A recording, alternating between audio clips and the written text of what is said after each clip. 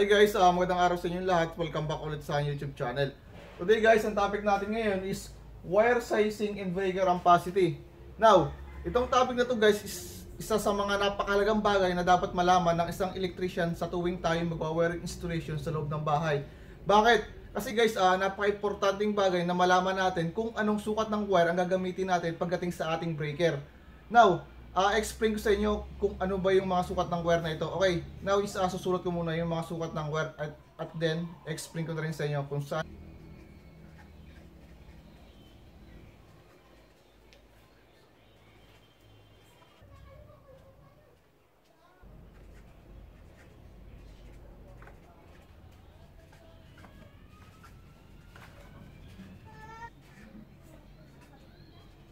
So guys, ah, naisulat ko na yung sukat ng wire natin.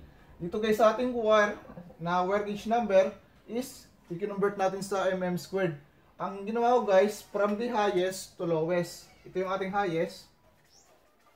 From the highest to lowest.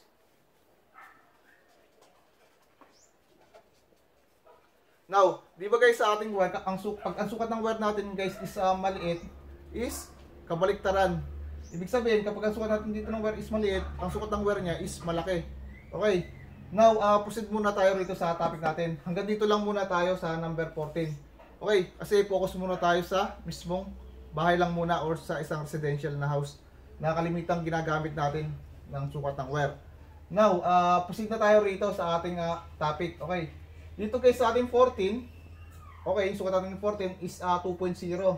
Now, ang 2.0 na wire guys is uh, ginagamit natin yan is sa ilaw, mga ilaw natin. Mga ilaw.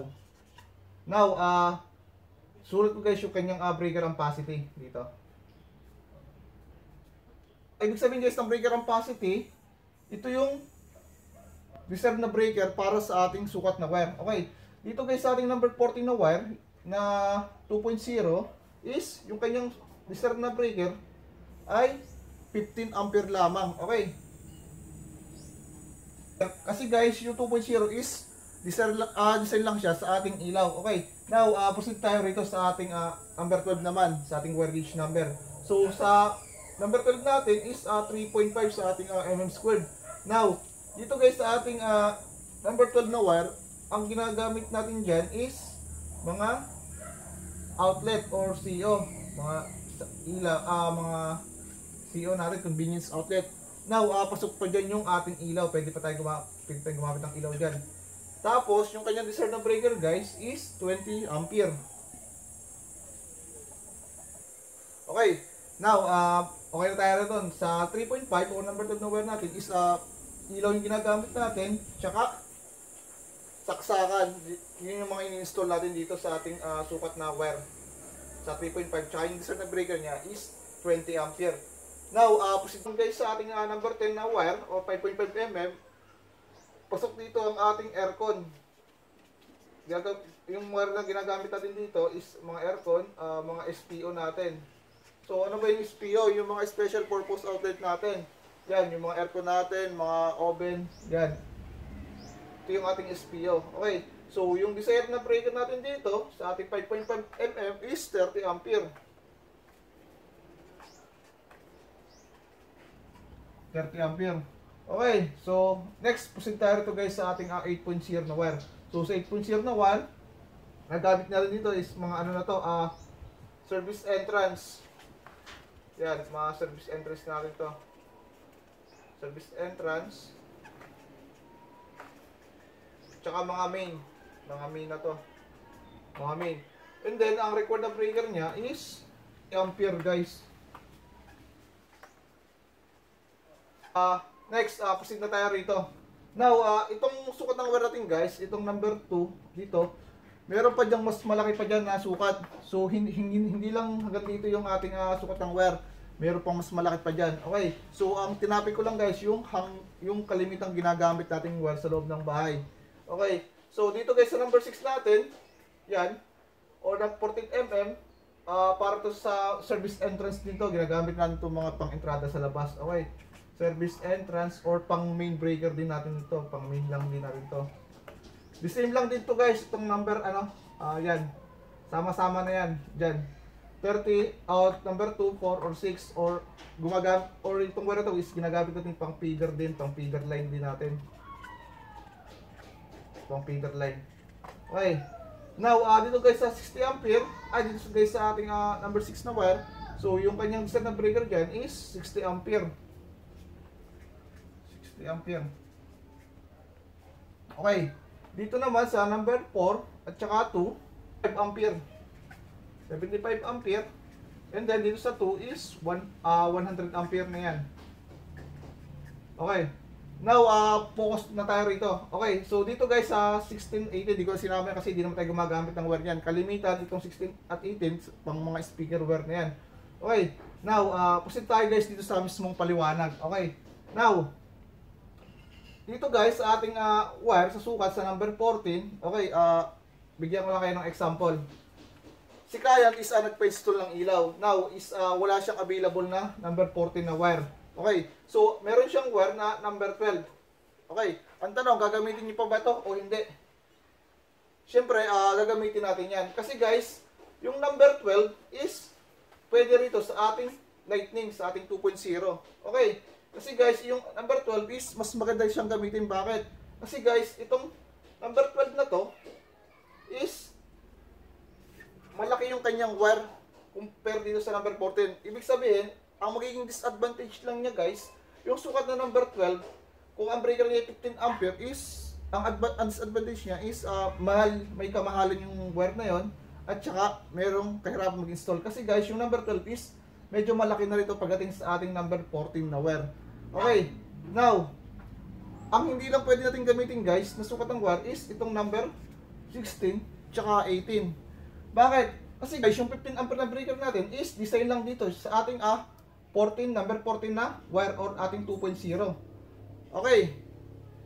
Sa totoo lang guys, itong sukat ng wire nito, simula rito sa 12 hanggang dito sa 2 is pwede natin gamitin yan para dito sa ilaw. Kaya lang guys, yung magiging disadvantage niya is unang-una, mahal yung ating wire. Ikalawa, mahirap siyang install. Okay, ang wire is napaka-importante pagdating sa ating bahay. Kasi guys, yung wire, siya yung mag-handle ng current papunta ron sa ating mga convenience outlet sa ating mga ilaw. Paano kung ang ginamit mo guys is uh, 30 ampere tapos gumamit ka ng wire na 2.0?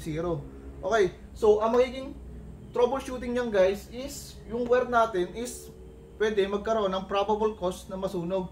Bakit? Kasi guys, yung 30 ampere na breaker natin is masyadong maliit para dito sa ating 2.0 na wire. Kasi guys, yung 2.0 na wire is baka hindi niya kayanin yung current na ibabato ni 30 ampere papunta dito sa ating mga saksakan. Okay, o sa ating mga ilaw. Kasi guys, yung wire is masyadong maliit. Okay, kasi yung kasi guys, yung sukat ng wire natin guys, kapag hindi match dito sa ating ampere or sa ating 30 ampere at ang ginamit natin yung 2.0 is posible guys na masunog ito. Okay. Halimbawa, uh, install mo ito ngayon, itong uh, 30 ampere ang breaker mo tapos gumamit ka ng 2.0 na wire at in-install mo ngayon. Now, hindi pa yan masusunog basta-basta. Pero, expected mo mga ilang buwan or mga something uh, isang taon. Okay, pag isang taon tapos lagi mong ginagamit yung saksakan at 2.0 yung ginamit mo. I-check mo guys yung inyong uh, mga saksakan dyan. Pagtingin nyo, uh, yung kanyang wire sa dulo is medyo sunog-sunog na siya and then yung kanyang uh, insulator yung balot na goma tingnan mo uh, meron siya mga bukol-bukol na kasi yun yung tandaan na pasunog na yung inyong wire kasi guys yung ampere na ginamit mo is masyadong mataas para dito sa ating sukatang wire kasi guys kapag taas ng ampere tapos paglitan ko ng ginamit mo expected mo guys yung pasok ng current is malaki kasi malaki yung ampere na ginamit mo so ganun lang yung explanation natin dito pagdating dito sa ating mga sukat ng wire Okay, kasi guys, uh, marami ako naging troubleshooting, lalong-lalo na dito sa aming lugar, is yung breaker na ginagamit namin sa loob ng bus is isa lang. So, ang nangyayari, um, yung ibang troubleshooting ko, si electrician gumamit ng 40 ampere na breaker. Now, anong nangyari guys, yung 2.0 na wire, tsaka uh, 2.0 na wire natin, okay, is dito is ginamit dito sa ating uh, 40 ampere. Now, ang nangyayari guys, pag check ko, yung wire niya is sunog na. Kasi guys, yung current na pasok sa loob ng bahay kasi sa pag 40 ampere ang ginamit natin is malaki, expected, expected na natin na malaki yung current na papasok sa ating bike. Dapat kapag 40 ampere ang ginamit natin ng wire is number 8 or na 8.0 yung gagamitin natin na sukat ng. K- Kasi ang kasi guys yung wire is napakahalaga sa ating bahay kasi siya yung mag-handle ng current na i-receive niya galing sa ating breaker. Okay. So, ganun lang yung explanation natin dito. So, yun lang yung nagiging concern natin dito pagdating sa ating sukat ng wire. Okay. Now, ah, itong mga sukat ng wire na to is dapat alam natin kapag tayo magwa-wiring, kapag tayo isang electrician kasi para maiwasan natin yung pagkakaroon ng troubleshooting lalo, lalo na sa mga bahay. Minsan susunog. Minsan kasi guys, ah, ito yung nagiging ah, cause ng sunog ng bahay kasi hindi sakto or match yung wire na ginamit natin pagdating sa ating breaker. Kaya napakalaga ng sukat ng wire natin pagdating sa ating breaker. So, yun lang yung naging concern natin pagdating dito sa ating explanation sa wire spacing and breaker ampacity. Okay, so hanggang dito na lang guys. Sana may naintindihan kayo.